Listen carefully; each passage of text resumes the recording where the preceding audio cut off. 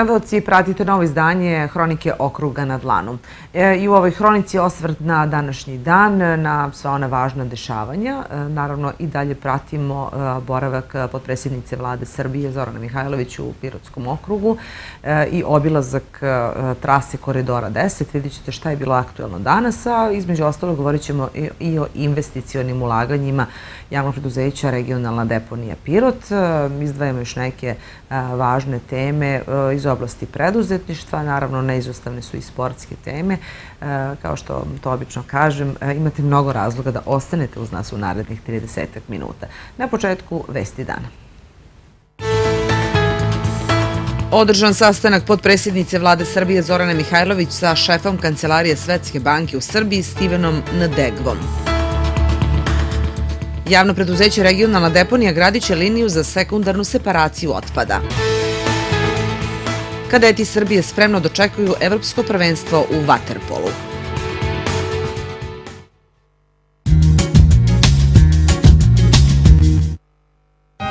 Nekada smo imali jedni druge. Imali smo tradiciju i poverenje. Pouzdanost je bila važna. Tražili smo sigurnost i sticali snagu. Vremena se menjaju, ali prave vrednosti ostaju. I tradicija se nastavlja. 45 godina prijateljstva. Dunav osiguranje.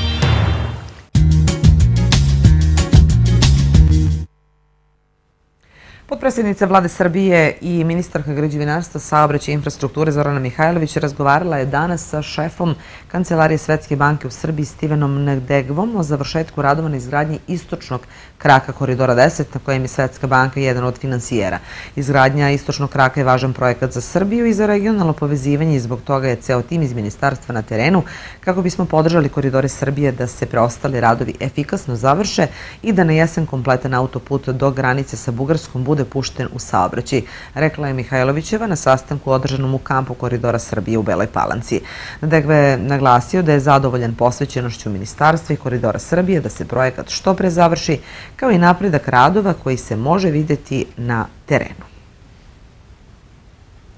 A članica povereništva Srpske napredne stranke Zorana Mihajlović održala je danas sastanak sa članovima povereništva gradskog odbora SNS-a, a pre početka sastanka razgovarala sa građanima i simpatizerima stranke. Mihajlovićeva se zahvalila na lepom dočeku i rekla da jedni bez drugih ne mogu i da daju svoj maksimum na kojoj god poziciji se nalazili. Mnogo smo uradili u prethodnom periodu i na to treba da budemo ponosni. Ne samo da smo bolji od prethodnika, nego teško da će se pojaviti neko ko će raditi kao mi. Samo ove godine krećemo izgradnju nekoliko novih autoputeva. Sledeće godine nas čekaju parlamentarni i lokalni izbori i na nama je da pokažemo rezultate koji su istorijski. Svako ko kaže suprotno ne govori istinu. I sve što radimo, radimo za dobrobit naših građana, poručila je ona. Milan Jovanović se zahvalio podpredsjednici Mihajlović na predanom radu i podršci. Podržavamo politiku predsjednika Vučića koja je usmerena ka regionalnoj političkoj stabilnosti. Zahvalni smo vladi Srbije na svemu što je uradila za naš kraj, govorimo o kapitalnim infrastrukturnim projektima kao što je autoput. Hvala Zorani Mihajlović koja pruža ogromnu podršku i intenzivno prati realizaciju svih projekata. SNS je tu da pomogne. Srećni smo što ni jedan kraj nije zapostavljen i što jug Srbije nije zaboravljen, rekao je on. Vanja Udovičić rekao je da je snaga stranke u zajedničkom radu. Danas sam posebno podnosan jer smo prošli autoputem koji je bolji nego bilo gde u svetu. Krajoli kojim smo danas prošli čini se da se osjećamo toliko ponosnim da nam daje elan da se borimo i bez dana odmora. Kada imamo predsjednika kakav je Vučić ili Zoranu Mihajlović koja se bori kao lavica, zadovoljstvo je biti deo takvog tima. Hvala vam zbog svega što i vi radite ne samo za vaš grad, već i celu Srbiju, rekao je Udovičić. Ministarka Mihajlović e, danas je bila i sa predstavnicima medija na safariju istočnim krakom koridora 10 i tom prilikom istakla da sve što su novinari i gosti mogli da vide nije postojalo pre dve godine. Mediji su imali prilike da prođu kompletnu trasu koridora.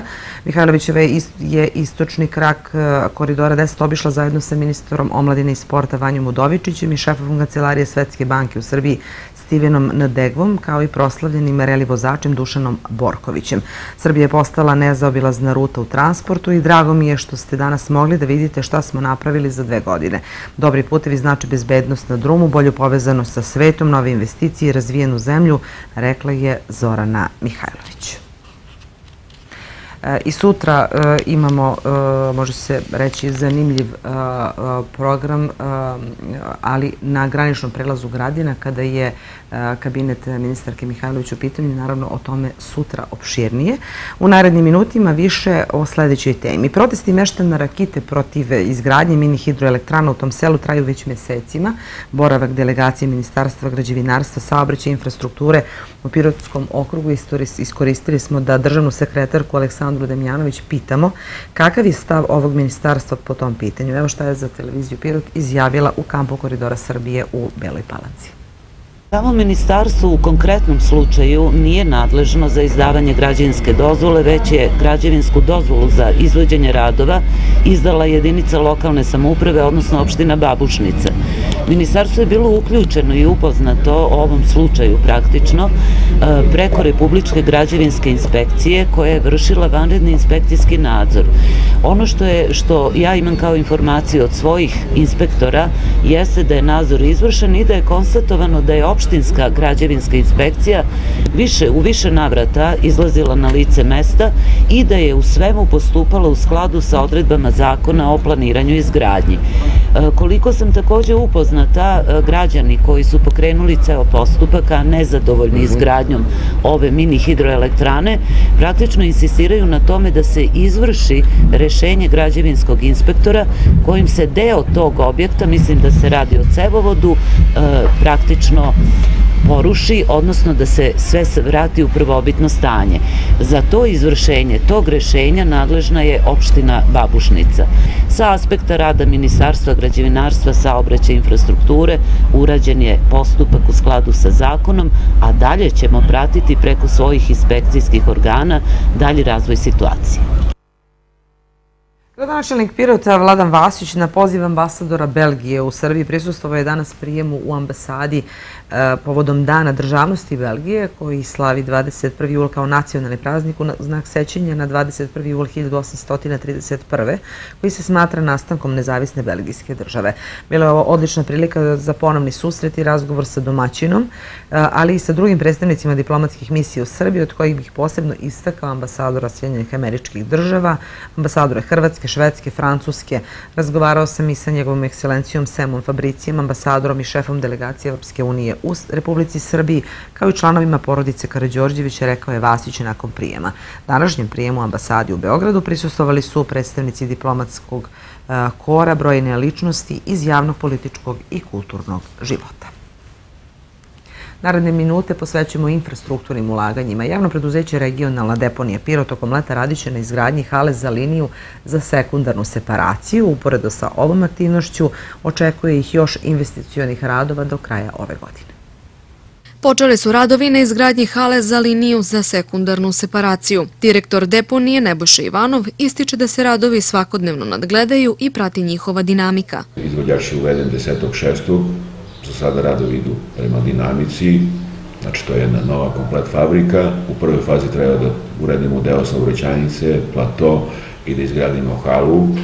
Sada nemamo problem u realizaciji tih radova, ni mi kao investitori i izvođač u tom delu. Priprema se i projektna dokumentacija za izgradnju kompostane. Drugo najznačajnije u sklopu naše aktivnosti što smo od strane, grad je konkurisio od strane Ministarstva zaštite životne sredine su obezbeljena 4 miliona dinara za izradu projektne dokumentacije za kompostanu. U okviru regionalne sanitarne deponije očekujem da u narednih 5-6 dana bude potpisan ugovor između grada Pirota i Ministarstva zaštite životne sredine o transferu tih sredstava i kasnije da grad Pirot raspiše javnu navogku za izradu projektne dokumentacije i da u, do kraja godine e, bude izrađena projektna dokumentacija. Uporedo sa ovim aktivnostima radi se na projektu za automatsko pranje vozila. Mi nemamo automatsko pranje kamiona, hoćemo u sklopu naše aktivnosti da svaki kamion koji izađe e, koji dovozi komunalni otpad, a koji izađe iz kruga deponije, bude dezinficiran opran. Nadam se da taj projekat tamo do oktobra završimo u tom delu i da naredne godine on bude operativan za finansiranje. Ivanov kaže da je potpisan i ugovor sa projektanskom kućom za izradu projektne dokumentacije za sanaciju starog smetlišta pored Nišave. U skladu sa ugovorom projekat bi trebalo da bude završen do kraja godine.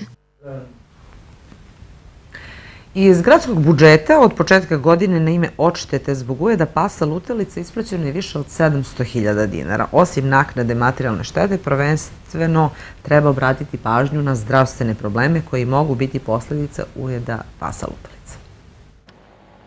Od početka godine gradskoj upravi predato je 35 zahteva za odštetu zbog ujeda psa. Devet je predloga za mirno rešavanje sporova i dve tužbe. Od 35 zahteva rešeno je 25, uglavnom su zaključena poravnanja i na osnovu njih isplaćena naknada od 480.000 dinara. Od devet predloga za mirno rešavanje sporova rešeno je 8 i isplaćena naknada u iznosu od 151.500 dinara i za dve sudske presude isplaćeno je 103.350 dinara bez sudskih troškova. Naknada štete zbog ujeda psa lutalice može se zahtevati od gradske uprave i od javnog preduzeća komunalac koje je zaduženo za zbrinjavanje pasa lutalica u azilu. Mi činimo sve što možemo i trudimo se da taj broj pasa smanjimo, ali ipak mislim da baš i ne uspevamo. Dakle, mi smo davno uradili azil za pse onako kako nalaže zakon, dakle pokušavamo da postupamo po po zakonu i u tom azilu je tako od 230 do 250 pa nekad i više pasa u, ovaj, prikupljeno sa ulici sa trgova. E, pokušavamo da radimo udomljavanje to ide ali nedovoljno. E, imamo zoохигijensku službu stalno radimo nešto na na tom azilu. Stalno je neko sređivanje, dorađivanje da uslovi gore budu što bolji. Ovih dana radimo i gore rasvetu i bit će urađena rasveta sve gore do deponije, to radimo zajedno sa deponijom da se i taj deo osvetli. Problem ujeda pasa lutalica pored naknade materijalne štete može doneti i određene zdravstvene probleme građanima. Prema rečima epidemiologa doktorke Radmile Zec, ukoliko dođe do ujeda, neophodno je ranu isprati vodom i sapunom i javiti se lekaru, a zatim epidemiologu Zavoda za javno zdravlje. Da se uzmu bliži podaci o psu, odnosno ukoliko pas ima vlasnika, mi e, u našem centru upućujemo poziv vlasniku da vodi psa na pregled ovaj, tri puta u roku od 10 dana, 0. 5. i 10. dana, da bi se sproveo taj veterinarski nadzor i veterinar izjasnio da psi obično i ne pokazuju znake besnila, jer besnilo nismo registrovali kod pasa unazad 20 godina, s obzirom da je iskorenjeno i kod lisica čaka, kamoli kod ovih naših domaćih pasa. Ali je procedura takva. Doktor Kazec napominje da je važno utvrditi vakcinalni status psa zbog mogućih zdravstvenih posledica po osobu koji je pas ujao. Ukoliko pas ima vlasnika, znači i uredno je vakcinisan, o tome postoji pisani dokaz u tom pasošu, zadnje tri godine, ako je uredno vakcinisan, onda se ovaj, e, ne mora ni da sprovodi taj nadzor veterinarski, da se vodi pas na preglede. Ukoliko je pas negde na ulici ili je čipovan od strane gradske uprave, odnosno nije u azilu, ali je tu negde na ulici, ti psi su obično sterilisani i vakcinisani, to znamo, ali ukoliko je nepoznat za nas, pacijent da, ovaj, ujedena osoba da detaljan opis, mesto gde se desio ujed i mi obaveštavamo telefonom i mailom zoohigijeničarsku službu javnog preduzeća komunalac koji šalju ekipu na teren da bi uhvatili psa i ovaj, da bi se isto sproveo taj veterinarski nadzor, desetodnevni. Na prevenciju posledica ujeda pasa lutalica po zdravlje treba prvenstveno obratiti pažnju. Za ostvarivanje prava na naknadu štete neophodno je pokrenuti adekvatan postupak uz odgovarajuću dokumentaciju. Konkurs Fonda za jug Srbije produžen je do 23. jula. Mogu da konkurišu organizacije civilnog društva iz pet regiona Južne Srbije, Topličkog, Niševskog, Pirotskog, Jablaničkog i Pčinskog. Fond za jug Srbije obezbedit će za projekte 50 od 100 resursa, polovinu obezbeđuju organizacije za svoje projektne predloge. Partneri fonda na projektu, eh, koji se zove Endowment for Democracy in South Serbia, su Nacionalna koalicija za demokratizaciju, Proaktive, Neka, Medija i Reform centar Niš, kao i Centar za razvoj liderstva. Organizacije civilnog društva prijeve mogu slati na adresu konkurs.mediareform.rs. A u narednim minutima više govorimo o subvencijama za zapošljavanje ili subvencijama za samozapošljavanje do posla. Da čujemo priču koju radila moja koleginica Biljana Marinkov.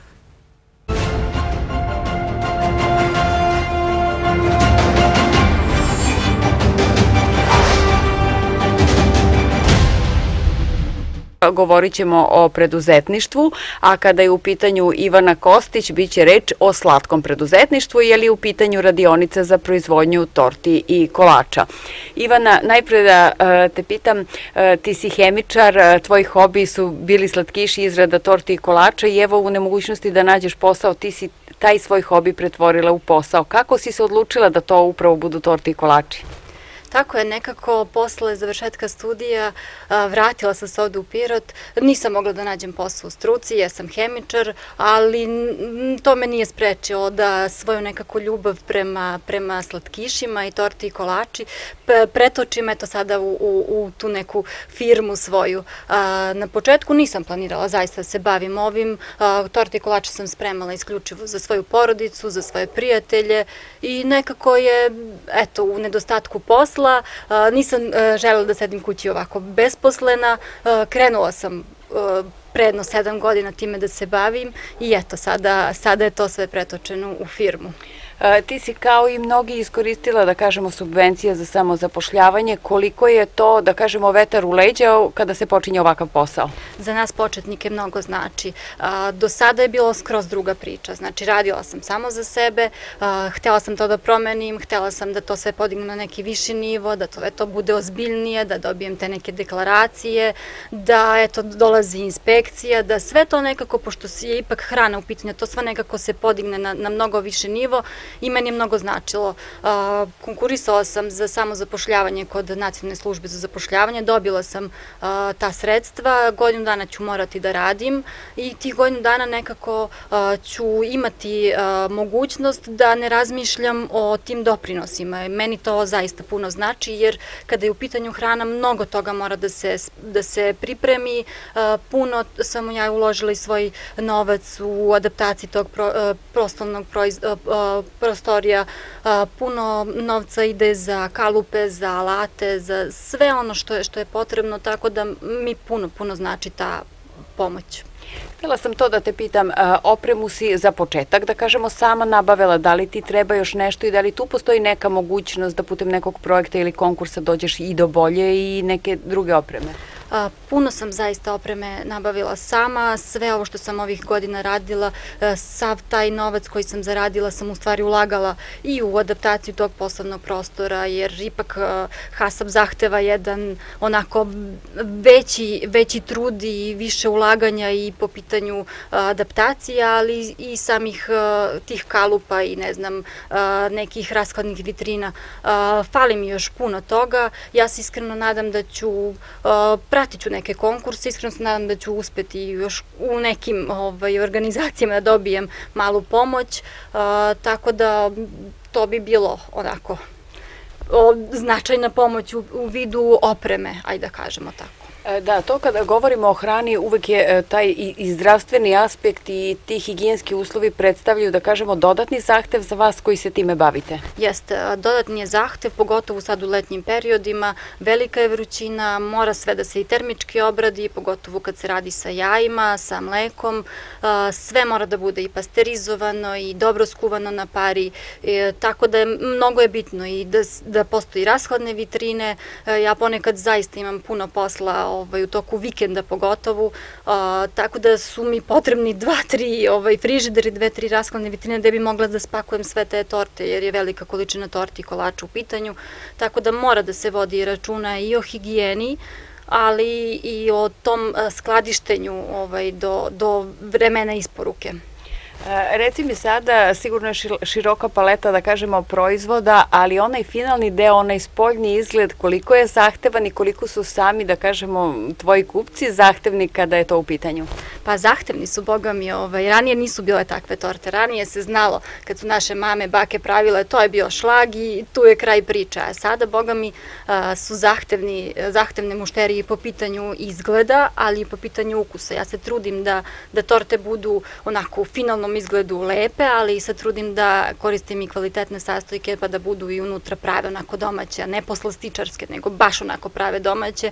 Ljudi to prepoznaju i uvek se vraćaju.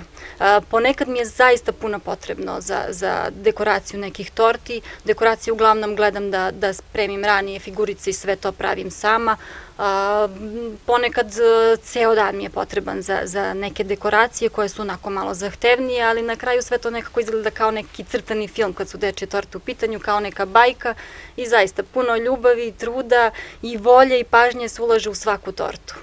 E, Ivana, u ovom trenutku imaš i podršku porodice da se baviš ovim poslom. E, da li ima naznaka da kasnije proširiš u smislu i da zaposliš nekog radnika? Opet kažemo i tu ima izvesnih subvencija. Tako je, ovaj, najveća podrška zaista dolazi iz e, porodice, od mojih roditelja, mog supruga, sve krve, oni su i najveća podrška, najveća pomoć. Uvek kada zagusti, uvek uskaču, uvek su tu da uh, idu u nabavku kad ja ne stignem, ali ovaj, mi je potrebna i pomoć uh, nekog radnika, tako da planiram, planiram da zaposlim za početak jednu radnicu, a kasnije ću videti, ovaj, pošto planiram proširenje i proizvodnje, tako da ćemo se širiti, ali eto o tom potom. Odlično, neka bude uspešno. E, nešto što bih te pitala vezano je svakako za preduzetništvo, mi sad govorimo o poslu, e, o ovom, da kažemo, početku nabavci. E, za preduzetnika se vezuje to da on u principu radi sve, da mora da brine i o knjigovodstvu i o nabavci opreme sirovina, opet o ugovaranju posla o tim proizvodima, pa na kraju i o marketingu. Što se tiče marketinga, nekako su tu najpovoljnije društvo društvene mreže ti ih koristiš, što nam je poznato, koliko ti to doprinosi da se za sve ove godine, pored one kvaliteta koji pružate i koji ljudi vide, da širite posao? Tako je, puno, puno kada je predusetnik, ovaj, kada radi, puno ima obaveza i odlasci u banku, i nabavke, i plaćanje računa, zaista mnogo toga ima da se odradi, mnogo znače društvene mreže. Ja na društvenim mrežama sam u stvari počela svoj posao pre sedam godina. Ljudi dosta koriste društvene mreže, Facebook najviše, ovaj, tako da sve te nekako slike gledam da tamo, da, da tamo postavim, ljudi to vide i nekako je lakše da, da sednu kući i da izlistaju sve one albume i da, da vide u stvari šta se radi. Tako da je, mislim da su društvene mreže jako korisne ovde kod nas, jer kažem da ljudi puno, puno koriste društvene mreže. Pratiš trendove i u tom smislu, pratiš li ih i u recepturama, da kažem da li koristiš i neke tradicionalne i neke nove recepte? Tako je, e, počela sam sa tradicionalnim receptima, onda sam sve to usavršila na neki viši nivo, e, stalno se prate trendovi, stalno su neke nove, neke nove torte budu aktuelne, neki novi kolačići, e, prati se trendi u, ovaj, sa kalupima i sa raznim ostalim pratećim priborom, tako da moramo, nažalost, takvo je vreme da, da mora da se prati ovaj trend. Meni to ne smeta, ja uživam u svakom, svakoj torti, u svakom kolačiću koji napravim, nekako sam pronašla tu sebe i, i srećna sam iskreno ovaj, što radim ovaj posao koji radim. E, Ivana, mi ti se zahvaljujemo i želimo da i dalje ti budeš srećna, ali i svi tvoji korisnici su sigurno sam srećni pored tebe kada probaju ono što praviš. Hvala Biljo, jeste, najlepši deo je baš ono kada se ode na isporuku i kada se vide onako ozarena srećna lica, kada vide one torte, to je zaista jedan vetar u leđa i najlepši onako osjećaj. Hvala. E, eto, Boro, čuli smo i ovoga jutra, kako mi to kažemo, porodična preduzetnička priča. E, eto, iz hobija obično prerasta određene e, veštine, pomažu ljudima da uz podršku subvencija nacionalne službe za zapošljavanje godinu dana imaju sredstva da plaćaju sebi poreze i doprinose i uvide da li za tih godinu dana jesu sposobni za to i mogu dalje da razviju posao i eto, da kažem, u ovom vremenu kada je do posla teško doći, sebe samo zaposle. A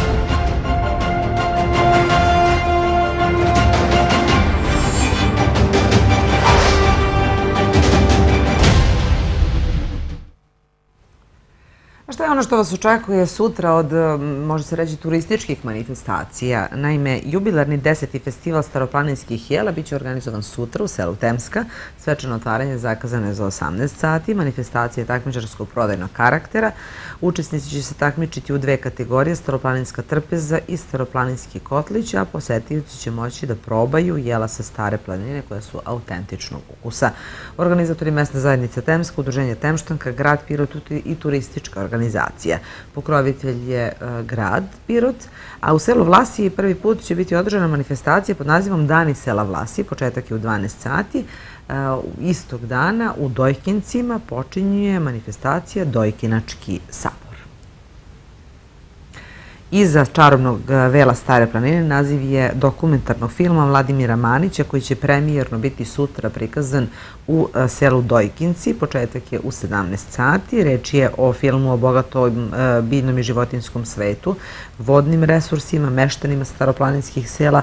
Inače, film je rađen poslednjih pet godina, premijera ekološkog filma biće organizovana u sali Doma kulture u centru sela. Deo je dvodnevnog programa Dojkinački sabor.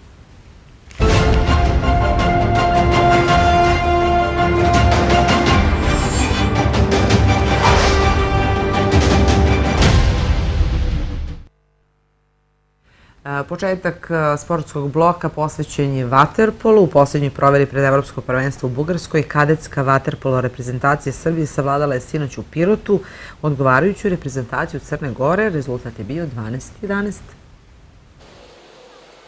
U generalnoj probi pred Evropsko prvenstvo u Bugarskoj kadetska vaterpolo reprezentacija Srbije savladala je u Pirotu Crnu Goru sa 12-11 polovreme 8-2. Izabranici Živka Gocića dominirali su u prvom delu. U nastavku kao da je došlo do malog opuštanja, pa su crnogorci to umeli da kazne. Ipak u samo do nekle neizvesnoj završnici vaterpolisti Srbije uspešno su priveli susret kraju i ostvarili pobedu. Sa tri gola najefikasniji u našoj reprezentaciji bio je Urošević. Marković, Kojić i Božović postigli postigli su po dva gola. U reprezentaciji Crne Gore sa po dva gola najefikasniji su bili Bošković, Vukšić i Vukićević. Evo kako su utakmicu ocenili selektori Srbije i Crne Gore, legenda ovog sporta Veljko Skoković i Živko Gocić. Zadovoljan sam, e, pogotovo prvim delom utakmice gde smo onako ovaj, bili dominantni odnosno na Crnu Goru, međutim eto, vidite da čim dođe do malog opuštanja ovaj, Crna Gora e, koja ima izvanredan tim se vratila utakmicu i učinila utakmicom neizvesnom do samog eh, kraja kao što ste videli. Mi smo loše otvorili ovaj meč, kasnije smo se vratili, imali smo neki rezultatski priključak i ovaj i igrački i što se sam igre tiče mislim da eto možemo biti zadovoljni moramo ispraviti neke stvari. Odbrane primili smo pet gola s dva metra, što je u našoj školi i srpskoj školi vaterpola naravno nedopustivo. Srbija i Crna Gora će u Bugarskoj biti u istoj grupi. U se nada da će snage odmeriti i u finalu. Sastaćemo se i u grupu, mi smo i u grupu, ovaj, u istoj grupi na, na Evropskom prvenstvu, ali to nam nije smetalo zajedno ovdje sparingom nekoliko dana. Mislim da je to dobro došlo i jednoj i drugoj reprezentaciji. Srešćemo se u grupi, ali sledeći naredni put ne možemo se sresti prije finala. Eto, ja bih volio da to neko finale bude između ovih večerašnjih aktera, ali vidjet ćemo ne znamo još snagu ostalih e, reprezentacija. Gocić veruje u svoje momke, ali ne želi ništa da prognozira. Još jednom istakao idealne uslove za rad u našem gradu i gostoprinstvo Piroćanaca i obećao da će u Bugarskoj pružiti svoj maksimum. Nemam reći ovaj, koliko sam zadovoljan, koliko smo imali ovde ovaj, dobre uslove, tako da ja se nadam da ćemo to uspeti da krunišemo našim dobrim partijama na Evropskom prvenstvu. Ovaj, kažem, Odradili smo sve što je bilo planirano po planu i programu, tako da e, mogu da kažem da spremni da čekamo evropsko. Vidjet ćemo zašto je to što smo mi uradili, zašto će to biti dovoljno na samom takmičenju. hvala vam i nadamo se doček ovde na povratku iz Bugarske sa Nemoj. medaljom. Još su to mladi momci, kažem još jednom, ne bih išao toliko daleko uopšte. Ovaj, ovo je tek početak njihovih karijera, tako da ovaj, mi ćemo se potruditi da damo sve od sebe u svakoj utakmici, pa kažem, vidjet ćemo zašto će to da bude dovoljno. Kadetska vaterpolo reprezentacija Srbije je danas otputovala u Burgas. Crnogorci na put kreću sutra. Evropsko prvenstvo u vaterpolu za kadete počinje 21. jula. A Pirotski Beli sutra igraju još jednu trening utakmicu, e, gostuju u Jagodini gde se sastiju sa istoimenom ekipom. Susret počinje u 17.30.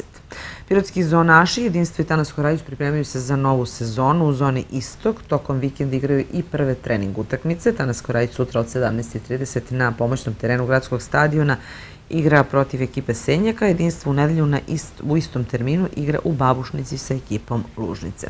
I vestima iz Košarkaškog kluba Pirot završavamo današnje izdanje Hronike. Posle Sanela Mukanovića, Borka Đorđevića i Martina Matovića, uprava Košarkaškog kluba Pirot postigla je dogovor sa sjajnim playmakerom Nikolom Đonlićem da se vrati u klub. Đonlić je u prošloj sezoni igrao za ekipu Mladosti iz Smederevske palanke, a u Pirotu je pre toga stekao punu afirmaciju U sezoni 2017. i 2018. je bio najbolji igrač i strelac Košarkaškog kluba Pirot. Pred početak hronike dobili smo informaciju iz Košarkaškog kluba da, se i, da će e, član e, Košarkaškog kluba e, u novoj sezoni biti i Dimitrije Đorđević. I ovom vešću zaokružujemo današnje izdanje Hronike i danas mnogo dešavanja. Pred vama je interesantan vikend. Čuli ste malo čas šta vas sutra očekuje doduše na tri mesta. Na vama je da se opredelite kuda ćete, da li u Temsku, u selo Vlasi ili u Dojkice. Naravno, i okoliko ne odete, mi ćemo biti na licu mesta da zabelažimo ova interesantna turistička dešavanja. Naravno, to nije sve. E, igraju i ekipe koje sam malo čas e, izdvojila. Lepo vreme vas očekuje, lepo provedite vikend i naravno vidimo se ponovo u ponedeljak. Prijatno.